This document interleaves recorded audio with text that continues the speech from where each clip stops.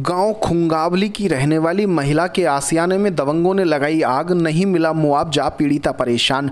गजरोला औद्योगिक नगरी क्षेत्र के नेशनल हाईवे स्थित गाँव खुंबावली की रहने वाली मीना का कहना है कि गाँव के ही रहने वाले राम सिंह भुवनेश सोमपाल से उनका विवाद चल रहा था। किसी बात को लेकर विवाद के बाद में दबंगों ने रात के समय का फ़ायदा उठाकर उनके घर में आग लगा दी, जिसकी वजह से उनके घर का सारा सामान जलकर राख हो गया।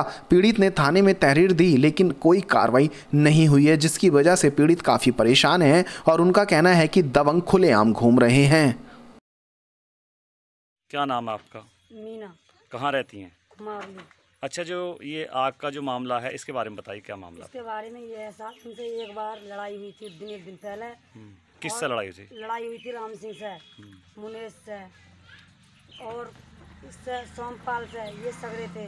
सगरे परिवार वाले थे इन्होंने रात को बारह बजे आग लगाई है और बाहर के लोग भी है। किस बात पे हुई लड़ाई? क्या मामला लड़ाई था? हुई थी कटरा के मामले में। ये अपने खेत पे से तोड़ी लेकर आ रहा था बीच रोड में कटरा बाँध रखा था और जब कटरा को कटरा ने टक्कर मार दी इसने कही कटरा को खोल लो। हम्म, भाई रास्ता को साफ़ कर दो। जानवर है। क्या यहाँ पर रास्ते में ढोर बनते हैं? नहीं रिश्ते में ढोल नहीं बनते खेत पे की बात है ये। अच्छा, अच्छा। गाँव की बात नहीं है।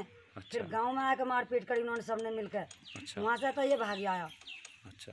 फिर पुलिस को फ़ोन करा। पुलिस ने भी गाली गुप्तार दी के सालो तुमने अपने आप आग लगाई। अपने घर में जी कौन आग लगा सकता है? अच्छा। बताइए गरीब लोग हैं तुम्हें कोई ईंट नज़र नहीं आ रही कोई मकान नहीं नज़र नहीं आ रहा जिसमें ये धर्मेंद्र के बड़े भाई का घर है जौन से मैं आग लगाई है। इनके पिताजी का क्या नाम है? श्री राम जी।